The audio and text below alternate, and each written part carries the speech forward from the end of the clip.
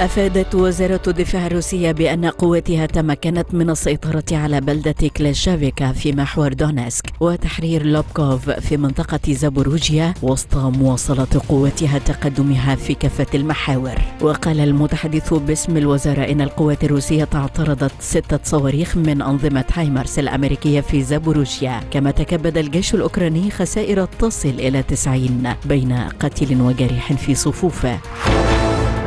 عقد وزراء دفاع حلف الناتو اجتماعا في قاعدة رامشتاين بألمانيا لبحث سبل تعزيز دعم أوكرانيا في حربها ضد القوات الروسية. وأكد وزير الدفاع الأمريكي لويد أوستن خلال الاجتماع أن بلاده ملتزمة بالاستمرار في تقديم الدعم العسكري لكييف للدفاع عن نفسها. من جانبه شدد الرئيس الأوكراني فولودومير زيلينسكي على حاجة بلاده لصواريخ وأنظمة مدفعية طويلة المدى مطالبا بتقديم المزيد من الدعم العسكري العسكري الغربي لكييف طرح الرئيس الفرنسي إيمانويل ماكرون خطة جديدة لزيادة الإنفاق العسكري وتحديث الجيش وأكد ماكرون سعي بلاده لتحديث الجيش الفرنسي للدفاع عن أراضيها مضيفا أن الحرب الروسية على أوكرانيا أكبر خطر على أوروبا وأدت لتغيير الاستراتيجيات العسكرية.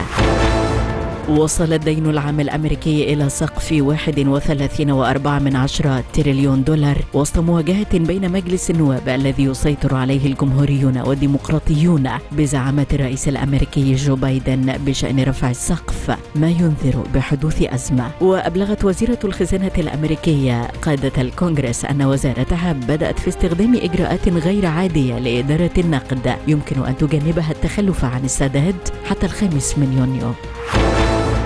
اجتاحت فيضانات عارمة أجزاء واسعة من صربيا والبوسنة والجبل الأسود وألبانيا وكوسوفو ما تسبب في إغلاق المدارس وإعاقة حركة المرور وغرق الأراضي الزراعية وأعلنت السلطات في عدة مناطق بدول البلقان حالة الطوارئ فيما تكافح لاحتواء ارتفاع منسوب المياه. نفى المركز الإعلامي لمجلس الوزراء صحة القائمة المتداولة على بعض المواقع الإلكترونية وصفحات التواصل الاجتماعي والخاصة بأسعار حصص مجموعة الدعم المدرسية للطلاب خلال الفصل الدراسي الثاني للعام الحالي 2022-2023